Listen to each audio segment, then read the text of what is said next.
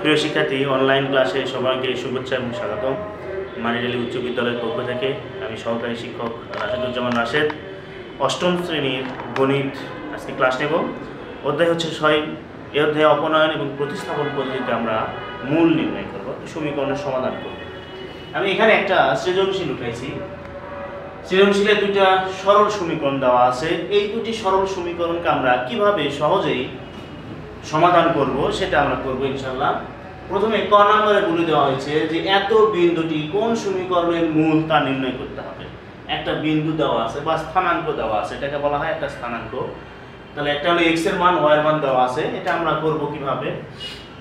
তাহলে এখানে দেওয়া আছে এক্স কমা ওয়াই ইকুয়াল হচ্ছে ফোর মাইনাস ওয়ান তাহলে এক নং, আমরা সমীকরণকে ধরে নিতে পারি এখানে যে সেভেন এক্স থ্রি ওয়াই সমান সমান একত্রিশ। এটা হলো এক এবং nine x minus five y equal to একচল্লিশ, এটা দুই তাহলে এক নং এর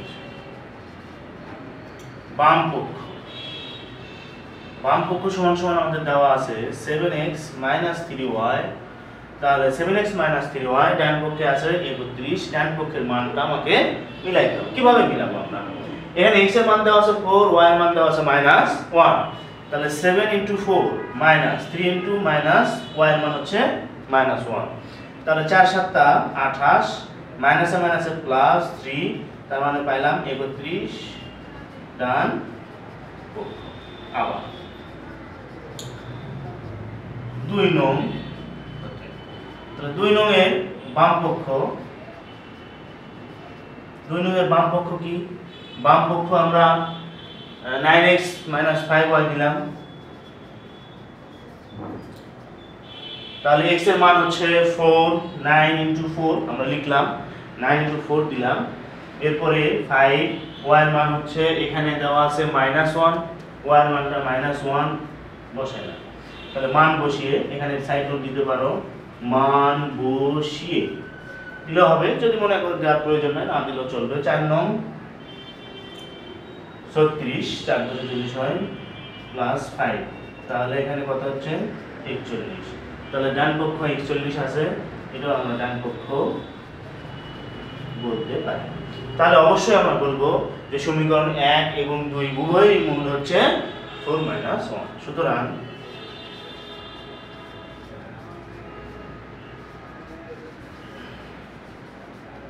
সমীকরণ এক ও দুই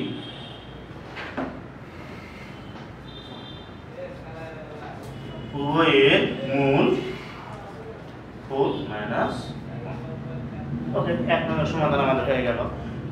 সমাধান আমরা করলাম? প্রশ্ন সমীকরণ দেওয়া আছে, বলে দেওয়া যে একটা ফোর মাইনাস ওয়ান বিন্দুটি কোন সমীকরণের মূল? তাহলে আমি নিলাম, দেওয়া আছে এক্স ফোর সমান সমান ফোর মাইনাস ওয়ান তাহলে সমীকরণ দুইটা আমরা উঠালাম, এক নম্বর সমীকরণ, দুই নম্বর সমীকরণ। প্রমাণ করার জন্য আমাকে কি করতে হবে? প্রথমে এক নম্বরের সমীকরণের সমাধান করতে হবে। এক নম্বর সমীকরণের সমাধান, তাহলে আমি এক নম্বর সমীকরণের বাম পক্ষ নিলাম। তাহলে এক নংয়ের বাম পক্ষ মানে বামে যে অংশটুকু আছে, ঠিক সেইটা আমরা নিয়েছি। এই বাম পক্ষ, এখানে এক্স আর ওয়াই এর মানটা বসে দেবো। তাহলে এটা হলো এক্সের মান ওয়াটা হচ্ছে ওয়াই ব্যাস, একত্রিশ পাইলাম। তার ডান পক্ষে একত্রিশ আছে। তাহলে সমীকরণটা সিদ্ধ করে, সমীকরণটা কি? সিদ্ধ করে। একইভাবে আমরা দুই নম্বরে তাই করছি। এর বাম পক্ষ নিয়ে নিছি, নিয়ে nine x minus five y লিখলাম, তারপরে এক্সের মান ফোর ওয়াই এর মান মাইনাস ওয়ান যোগ করে দিলাম একচল্লিশ। তার মানে এখানে একচল্লিশ আছে, তাহলে আমরা বুঝে গেলাম যে এইটাও এই সমীকরণকেও এই বিন্দুটি সিদ্ধ করে, এই বিন্দুটি সিদ্ধ করে। প্রিয় শিক্ষার্থী, আমরা অনায়াসে এক নং অঙ্কটি আমরা দুই মার্কের একটা সমাধান করে নিলাম। এখন আমার খ নম্বরে সৃজনশীলে যাব। খ নম্বরে বলতেছে, প্রতিস্থাপন পদ্ধতিতে সমীকরণ জোটের সমাধান করো। তাহলে এখানে জোট বলতে দুইটা, জোট বলতে দুইটা। সেটা আমরা করব এখন। ক আমাদের শেষ?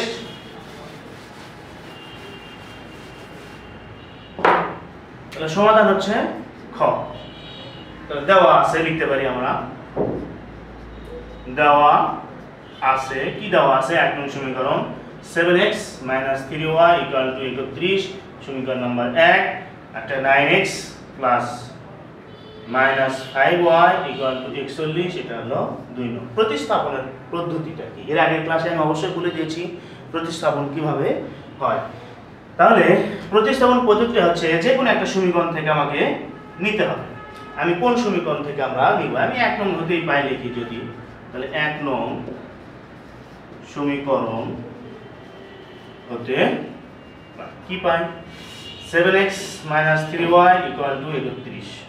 বা সেভেন এক্স এই পাশে থাকল থ্রি ওয়াই ওই পাশে পান করলাম প্লাস থ্রি ওয়াই হয়ে যাবে। এই পাশে মাইনাস আছে, সমান সমানের যদি পারে পার করে দিই, তখন সেটা কি হবে? প্লাস হয়ে যাবে। চিহ্নের পরিবর্তন ঘটবে। বা এক্স থাকবে, এখানে এক্সের সহগ হচ্ছে সাত। এক্সের সহগ, সাংখ্যিক সহগ হলো সেভেন এই সেভেনটা কি করব? গুণ আছে। এই পাশে যখন পার হবে, তখন ভাগ হয়ে যাবে। আর এখানে একত্রিশ থ্রি ওয়াই এইটাকে আমরা দিব তিন নং সমীকরণ। এখন এক্সের মানটা কোথায় বসাবো? দুই নং সমীকরণে বসাবো। তাহলে লিখব আমরা এক্সের মান দুই নং সমীকরণে বসিয়ে পাই। তাহলে দুই নং সমীকরণ আমার কি ছিল? Nine x minus five y equal to একচল্লিশ।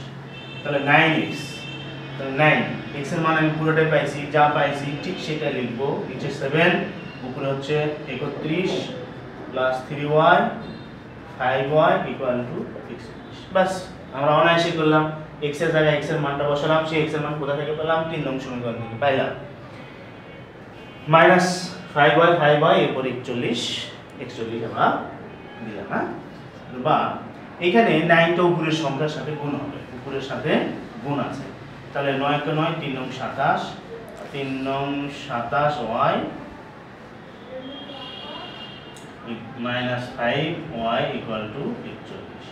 তাহলে এই সাতটা আবার লসাগু করতে হবে। তাহলে এর ফাইভ ওয়াই এর নিচে ওয়ান আছে। ফাইভ ওয়াই এর নিচে ওয়ান আছে, এর নিচে সাত আছে, এটা লসাগু করতে হবে। তাহলে দুই সাত নয় সাতাশ ওয়াই মাইনাস পাঁচ সাতটা পঁয়ত্রিশ ওয়াই ইকুয়াল টু একচল্লিশ। এই সাত ভাগ আছে, যদি আমরা এই পাশে পার করে নিই, তখন সেটা গুণ হয়ে যাবে? তাহলে বা দুই সাত নয় মাইনাস টোয়েন্টি সেভেন ওয়াই পঁয়ত্রিশ ওয়াই একচল্লিশ গুণন সাত। এইটা এইটা হচ্ছে আমরা কীভাবে করব এখানে সাতাশ আর পঁয়ত্রিশ হয়, দুটোই মাইনাস আছে, যোগ হয়ে যাবে, আর এই দুই সাত নয় যেটা আছে এইটা হচ্ছে যোগ আকারে আছে, এই পাশে পার করলে সমান সমান যদি এই পাশে নিয়ে আসি, সেটা বিয়োগ হয়ে যাবে। তাহলে মাইনাস সাতাশ আর পঁয়ত্রিশ ওয়াইটা আমরা একবারে নিই, সাত হচ্ছে বারো দুই থেকে এক, তিন একে চার চার আর দুই ছয়, বাষট্টি ওয়াই ইকুয়াল টু এখানে সাত একে সাত, এটা আমরা যদি গুণ করি, সাত একে সাত চার সাতটা আঠাশ বিয়োগ দুই সাত নয়। ব্যাস, আমাদের হয়ে গেল। তাহলে মাইনাস বাষট্টি ওয়াই ইকুয়াল টু এখান থেকে নয় আছে বিয়োগ করব আমরা। নয় আছে কত হলে? সতেরো আটে হাত থেকে এক। তাহলে তো আটই হচ্ছে। Minus y equal to eight ভাগ, একবারে লিখি মাইনাস তাহলে ওয়াই এর মান দাঁড়াচ্ছে এইট ভাগ বাষট্টি।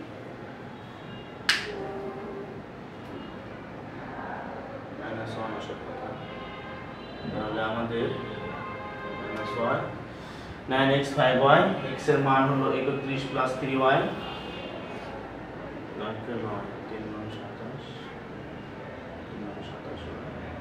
ও, এখানে আমাদের প্লাস হবে, এটা মিস হয়ে গেছে। এটা প্লাস হয়ে যাবে।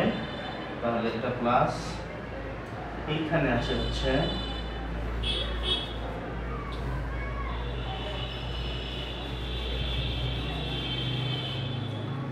তাহলে এখান থেকে আমরা পঁয়ত্রিশ থেকে সাতাশ বিয়োগ করলে হচ্ছে আট মাইনাস এইট ওয়াই।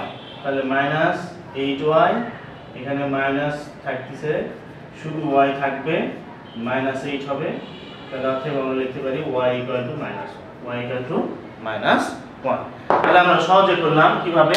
এখানে যোগ ছিল, প্রথমে মাইনাস হয়ে গেছিল, যাই হোক, এটা যোগ হবে। তাহলে আমরা নয় দিয়ে গুণ করলাম দুইশো উনআশি যোগ তিন নং সাতাশ হয় মাইনাস ফাইভ হয়, একচল্লিশ, নিচে সাত আছে। এখন এই দুটোর মধ্যে লসাগু করব আমরা, লসাগু করলে হচ্ছে সেভেন তাহলে এখানে দুই, সাত, নয় সাতাশ হয়, আর এর নিচে ওয়ান আছে, সাত দ্বারা আমরা কি করব? ভাগ করে সাতই পাবো। এটা পাঁচের সাথে গুণ করলে পাঁচ সাতটা পঁয়ত্রিশ, তাহলে থ্রি ফাইভ হয় ইকুয়াল টু একচল্লিশ। তাহলে সাত একচল্লিশের সাথে গুণ হলে এই পাশে যা আছে তাই। এখন এই সংখ্যাটাকে আমরা সমান সমান ওই পারে পার করে নিলাম। তাহলে এটা যোগ আছে, ওই পাশে গেলে মাইনাস হবে। আর পঁয়ত্রিশ হয় আর সাতাশ হয়। এখানে মাইনাস পঁয়ত্রিশ হয় আর প্লাস সাতাশ হয়। তাহলে পঁয়ত্রিশের সামনে বড় সংখ্যার সামনে মাইনাস আছে। তাহলে যোগ বিয়োগ করে নিব। পঁয়ত্রিশের থেকে সাতাশ বিয়োগ করে আট হচ্ছে, তার সামনে এর সামনে বড় চিহ্ন মাইনাস বড় সংখ্যার সামনে চিহ্ন হচ্ছে মাইনাস যার কারণে মাইনাস এইট ওয়াই লিখলাম, তাহলে এখান থেকে বিয়োগ করলে আট, আর এই এইটটা গুণ আছে ভাগ হলো ওয়াই এর মান। এখন আমরা ওয়াই এর মান তিন নমে বসিয়ে ওয়াই মান তিন নঙে বসিয়ে পাই। ওয়াই মান আমরা যদি তিন নঙে বসাই, তাহলে তিন নং সমীকরণটাতে কি আছে? তিন নং সমীকরণ x সমান সমান একত্রিশ মাইনাস বা প্লাস থ্রি ওয়াই আর হচ্ছে সেভেন তাহলে একত্রিশ plus three minus one y এর মানটা ছিল মাইনাস ওয়ান ওয়ান বসাই দিলাম, নিচে হচ্ছে সেভেন তাহলে একত্রিশ মাইনাস থ্রি ভাগ সেভেন তাহলে থ্রি বিয়োগ করলে হবে আঠাশ ভাগ সেভেন সমান সমান ফোর অতএব x comma y equal to four comma minus one ব্যাস, আমরা অনায়াসে সমাধানটা করে ফেললাম। তো প্রিয় শিক্ষার্থী, আজকে আমি একটা সৃজনশীলের দুইটি পার্ট করাইছি। প্রথমে হচ্ছে ক, দ্বিতীয় অংশ হচ্ছে খ। এখন আমি ক, খ করার পরে যে অপনয়ন পদ্ধতির আগের ক্লাসে আমি অবশ্যই করেছিলাম অপনয়ন পদ্ধতি তোমরা অবশ্যই বাসায় এটা প্র্যাকটিস করবে, গ নম্বরটা। যদি তোমাদের সমস্যা হয়, অবশ্যই কমেন্ট বক্সে বক্সে কমেন্ট করবা। আমি এটারও সমাধান আগামী ক্লাস করে দেবো ইনশাল্লাহ আল্লাহ হাফিজ।